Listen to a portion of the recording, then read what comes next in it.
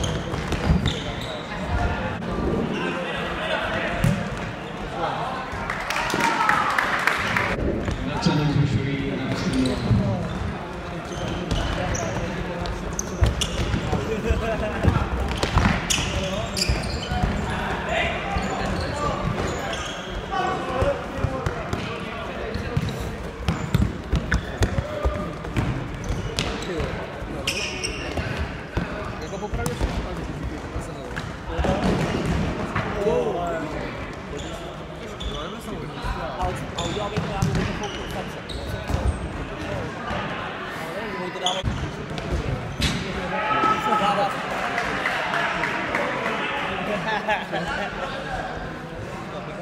suis désolé, je suis désolé. Viens là, Akio.